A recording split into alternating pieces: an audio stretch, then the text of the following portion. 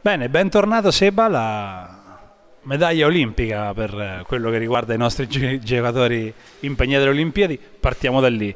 Eh, prima di parlare di Perugia, di questo bellissimo sogno olimpico no? per, per, voi dell'Argentina, una medaglia di grandissimo valore. Sì, come l'hai detto è veramente un sogno che ancora forse è difficile da crederlo, no? perché penso che tutti quanti eh, la vogliamo e sogniamo con questa medaglia, qualsiasi atleti.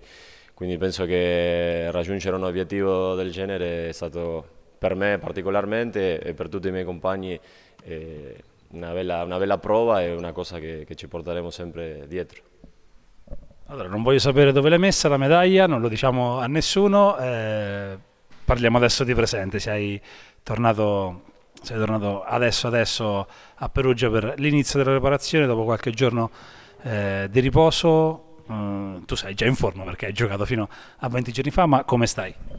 Bene, bene, sì, ho avuto un po' di tempo a stare con la famiglia, sono tornato in Argentina a salutare ai miei genitori e niente, sono, sono pronto sempre un po' con la testa qua, anche quando, quando stavo in nazionale, sempre mi, mi, piaceva pensare di tornare qua e, e arrivare a questo, a questo momento, no? la preparazione che abbiamo tanti ragazzi anche nuovi, eh, nuovo allenatore, penso che, che, ci sia tanta, tanta voglia di, di migliorare e di fare le cose bene e giuste, quindi penso che, che adesso siamo tutti carichi. Oh, senti, hai detto bene, allenatore nuovo, giocatori nuovi, anche parte dello staff eh, è cambiata. Eh, Seba, difficile fare pronostici, siamo solo all'inizio dell'anno, che stagione eh, ti aspetti? Che stagione aspetta Perugia?